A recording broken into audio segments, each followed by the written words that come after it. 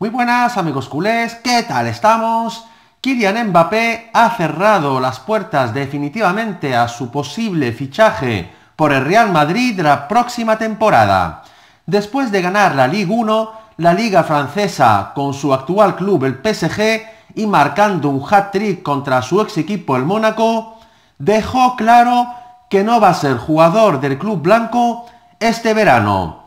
El Barcelona sigue sondeando el mercado en busca de un posible sucesor para Luis Suárez.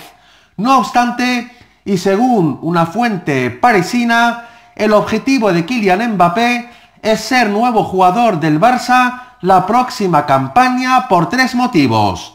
Le convence más el proyecto del club blaugrana, querer tener la experiencia de compartir vestuario y terreno de juego con Leo Messi porque le considera el mejor, y ser el mejor jugador del mundo y sucesor del astro argentino.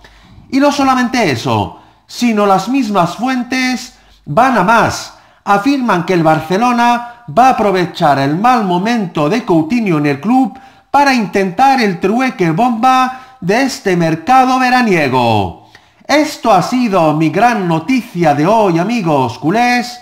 No os olvidéis suscribirse a mi canal, que no os cuesta nada pulsar un like como siempre y dejarme comentarios para cambiar opiniones. Muchas gracias y nos vemos muy pronto en mi próximo vídeo.